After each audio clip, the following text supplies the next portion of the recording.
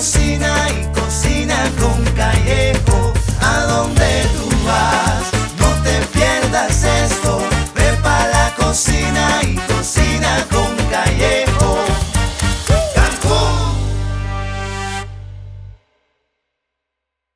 Me da mucho gusto que estemos otra vez juntos. Acompáñame a preparar unos camarones al coco. Es una receta lindísima, suena muy caribeña. Y para hacerlo me va a acompañar Candy Ayuso, hoy es candidata a diputada federal.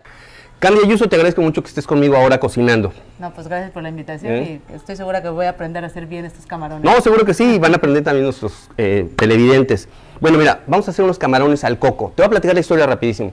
Yo estuve averiguando y esta, esta receta se, se sirvió por primera vez en Campeche, hace unos 30 años un chef la llevó para allá y ese chef la trajo de Hawái. Eso es lo que yo tengo. Si alguien tiene una historia distinta, pues que lo ponga en los comentarios y nos enriquecemos, ¿no?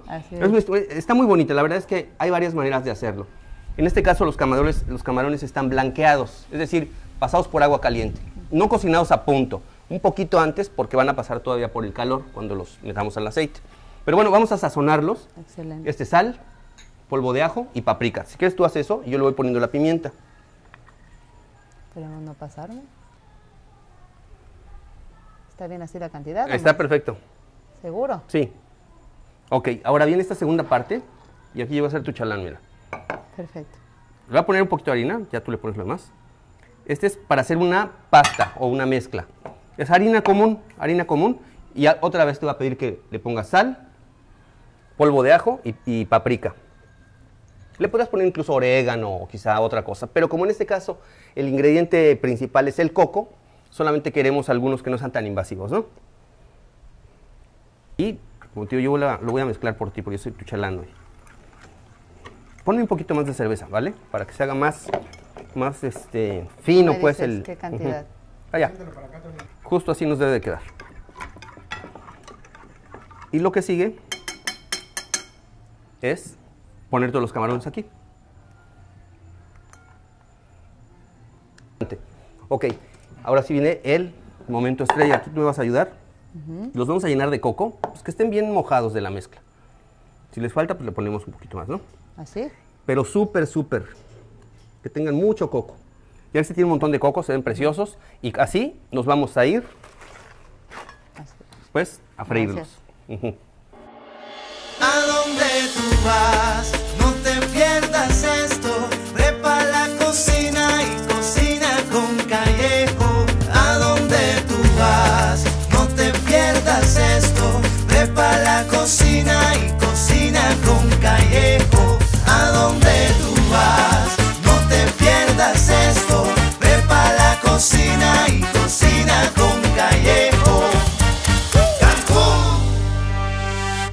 Candy, pues vamos a platicar ya directamente de cómo te está yendo en la campaña. Van muy poquitos días, faltan muchísimos más. Así es. ¿Cómo te está tratando la gente en el Distrito 4? La verdad muy contenta, nos están recibiendo muy bien, nos abren las puertas de su casa para pues, conocer las propuestas, para conocer a, su candidata y sobre todo para darnos su sentir, porque a lo mejor las propuestas que una servidora lleva no son la prioridad de ellos. Y estamos llevando material a las diferentes regiones en donde les pedimos que ellos nos nos pongan las propuestas que ellos quisieran que sean llevadas al Congreso de la Unión. La gente quiere saber eh, quién va a ser su diputada, ¿no? Y conocer a los candidatos, obviamente. Platícanos y platícale a la gente cuáles son las zonas que abarca tu distrito para que ubiquen perfectamente si les toca, obviamente, en, en este caso, que tú seas su legisladora, no su candidata en este caso. Bueno, el distrito 4 es muy amplio, eh, tenemos 210 secciones. Eh, tenemos 44 zonas irregulares, entran, distritos locales, el 1, el 2, el 5, 6, 7 y 8. Nos toca la 102, la 103, la 259, Tierra Maya, la Colonia México, Avante, Tres Reyes, en fin, muchísimas. Entonces hay que pasarte ahí. Esas son las zonas irregulares de la zona poniente de la ciudad. También nos toca, pues, nos toca la zona hotelera, sí. nos toca Cumbres, eh, es muy amplio. Es una y muy disímbola también con mucha diversidad. Muy contrastante. Bueno, está recordando obviamente todos los estratos, todos los sectores. ¿Y qué te dice la gente? El tema el principal, eh, yo decía, a lo mejor lo que es prioridad para mí no es prioridad pues para ustedes, ¿no? Para los ciudadanos. Pero pues sí, el tema de seguridad es un tema que pues lo pide la ciudadanía a gritos. Hay una, hay una molestia. Eh, dicen que no ven a, pues a los cuerpos policíacos con, los, con lo que antes se llamaba los rondines que hacían en las diferentes regiones o en las escuelas que yo me acuerdo, yo fui maestra, yo me acuerdo que en la escuela siempre pasaban los policías a la hora de la entrada y tenían que firmar, y a la hora de la salida haciendo rondines y que ahora ya no. Ellos exigen que, que pues esto, estos rondines se vuelvan eh, pues como antes, que se vea la presencia policíaca, porque dicen que pues a veces le hablan al policía, pero nunca llegan. Una pregunta incómoda, pero te la tengo que hacer. El PRI la verdad es que está en un- tiene un posicionamiento complicado en este proceso electoral en lo general. Eh, ¿Cómo te está yendo a ti en lo particular? Y recuérdanos un poquito quién es Candy Ayuso, porque obviamente tú tienes una historia aquí en Cancún con tu mamá. Tu mamá fue presidente municipal incluso, ¿no? Bueno, en, en el tema de PRI es un, es un momento complicado para el partido que represento, para el Partido Revolucionario Institucional, pero pues eh, cuando las- la gente nos abre las puertas de su casa y platicamos, pues siempre comentamos que no hay ningún partido corrupto, ni el PRI, ni el PAN, ni el PRD, ningún otro partido es corrupto. Son corruptas las personas a las que les hemos brindado la confianza y que al final nos han de- defraudado y tienen nombre y apellido y están donde tienen que estar. Que no todos somos iguales, que hay gente que queremos hacer las cosas bien y que pues esperamos contar con su apoyo para este primero de julio. Bien, otra pregunta incómoda, pero luego te la cambio por una fácil, para que Ok. no sea... eh, esta semana el, gobernador eh, sometió a consulta, pidió que el IEGRO realizara una consulta para ver si la gente quiere o no que, se, que sean legales las plataformas de, al- eh, de renta de vehículos de alquiler, es decir, Uber, Cabify y todas estas. ¿Qué opinas tú de eso? Bueno, es- está en su facultad y yo creo que al final eh, pues, eh, va, a depender del Congreso del Estado, porque pues, de ello depende, pero creo que es importante esta participación.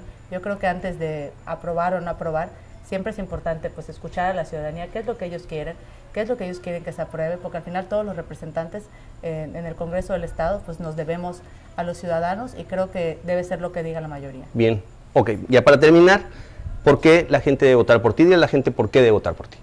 Bueno, yo soy cancunense, quintanarroense, eh, amo mi estado, eh, conozco sus rezagos y quiero seguir trabajando en ello. Tengo, sé que cuento con la experiencia para poder legislar a nivel federal.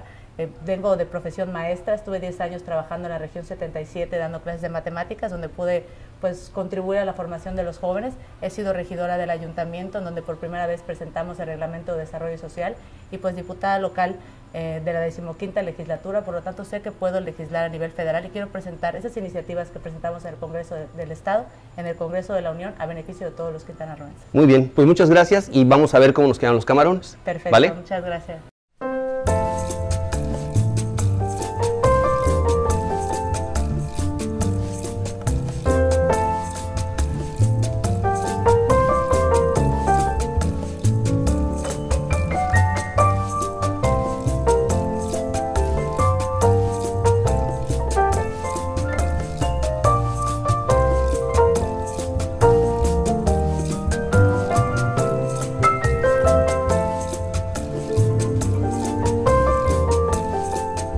Bueno, Candy, vamos a probarlo ahora sí.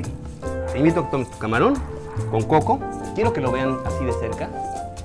El coco se ve bien. Sí nos quedó bien. Sí, no quedó La muy bien. Y le puedes poner un poquito de salsa. Es salsa de piña con chile habanero. A ver qué tan picosa Sí. nos quedó. Espero que no mucho.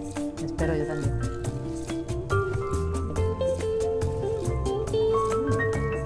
Rico, ¿verdad? Riquísimo.